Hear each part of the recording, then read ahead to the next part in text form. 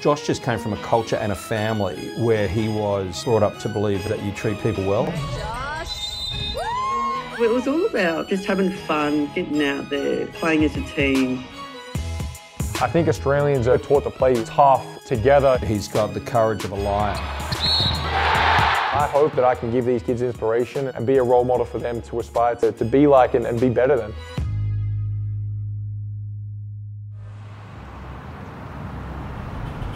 You know, my mom, she, when I told her about the NBL, she was, she was so adamant on me going to college. She was pushed me to go to college.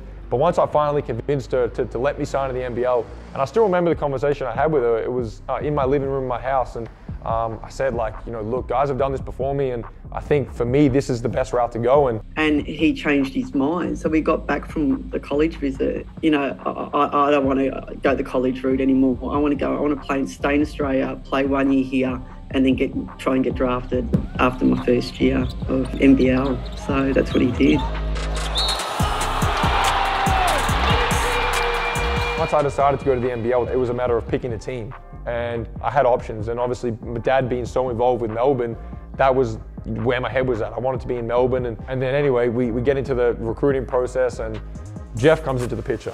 So I was aware of Josh at probably 15 years old. There's these off-season workouts that happen, you know, in most cities around the world that are basketball cities, and you get groups of guys to get together, no, no organization to it, just scrimmaging. And, and Andrew Gaze is actively involved in a lot of those workouts here in Melbourne. I would check in periodically, and about a week and a half later, I guess, since, since my last check-in, Andrew called me. And I thought, oh, he, not unusual, he'd call about something, but he very rarely calls about players. And he literally just said to me, Jeff, get Giddey. so when he said that, I got on the phone to the owner of the Adelaide 36ers and said, I'm just asking you to go with me on this. And to his credit, he was tremendously supportive. Yeah, there was another club that was trying to get him to play for them.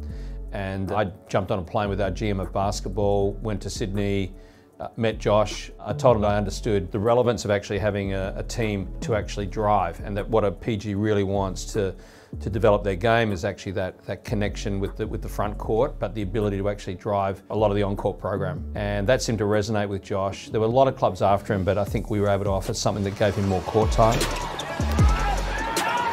We were prepared to just go with him and have him as a starting caliber player. And really that was seen to be somewhere between brave and mad at the time, being that he was 17. And it's a, it's a man's league.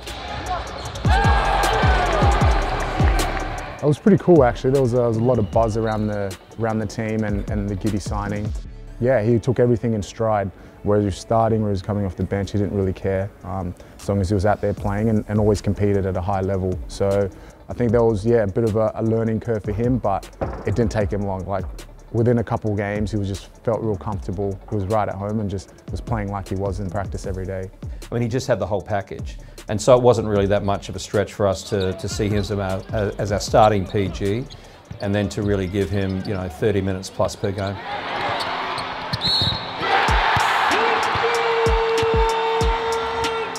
You know, as soon as I stepped foot in Adelaide, um, I had, I knew I had to be confident if, if, I wanted to earn these guys' respect and trust, and um, yeah, I, I, tried to do that from day one.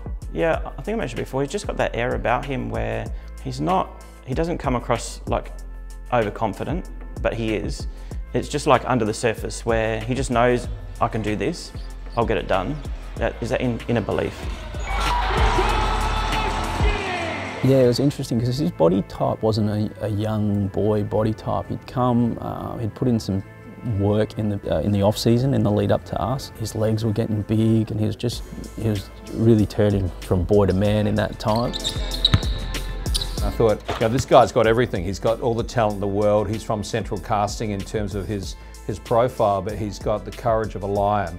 And as I got to know him more, I saw that, that integrity uh, and that team first approach come shining through on multiple occasions. As the season went on, uh, I gradually started going up. And, and, you know, when you get to a point in mock drafts where you're, you know, in the lottery top 10, th th there is a bit of, you know, weight behind it. And that's when I knew that you know, I was going to get drafted. I still didn't know where. And then we got to a point where we were at the back end of the season.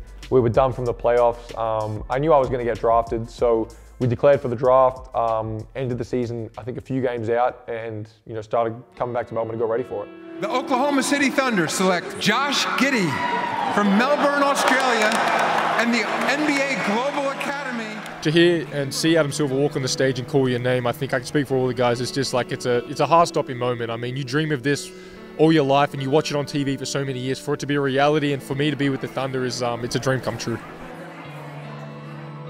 You become attached in my role, almost like that father figure. You know, you become attached and they don't feel like your children, but they're kind of, you know, like that really close friend.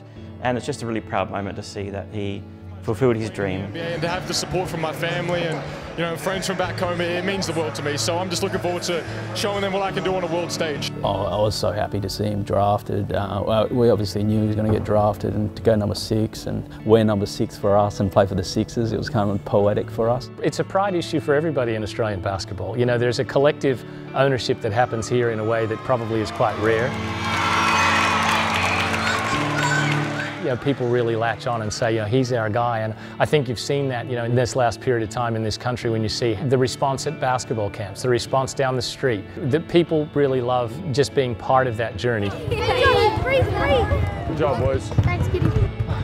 Probably a week or two after the draft, we went to Disneyland and um, we're in line and there was a little boy with a Giddey 3 jersey on. It was the first one I'd seen. And I'm going to the girls, I'm hitting the girls going, look, look, there's a Giddey. Someone's got a Giddey. I couldn't believe I wanted to go up and just give him a big hug. I was so excited. Oh, it's, it's surreal. Um, you know, there was one or two around in my year, and, and now to see my name or Josh's name on the back of these these jerseys uh, is just really surreal. And, you know, I couldn't be prouder. I, I hope that I can give these kids inspiration, and it's always a real privilege to, to be able to be in a position where I can inspire kids and, and be a role model for them to, to aspire to, to be like and, and be better than. Do you think I can make it to the NBA? Absolutely, I do. There's a whole generation of kids coming through in Australia that are patterning that. Whereas maybe 20 years ago or 30 years ago, watching other players overseas, maybe, maybe they're more interested in just shooting the ball and scoring 40. And, and now it's cool to pass. And now it's, it, it's cool to be a good teammate because Josh has helped make that a cool thing. Josh has contributed is going to, I think, extend for many, many years because he's given that, that younger generation self-belief in the possibility of making it in the NBA. And that, you know, is almost invaluable, that contribution. You know, hopefully the next generation continues to get better and better and uh, we keep producing draft picks and NBA players and medals at Olympics and World Cups and it makes me really excited to think about, you know, the, the future and, and how good Australian basketball can be. One, two, three, OKC! Good job, boys. Good job, my man.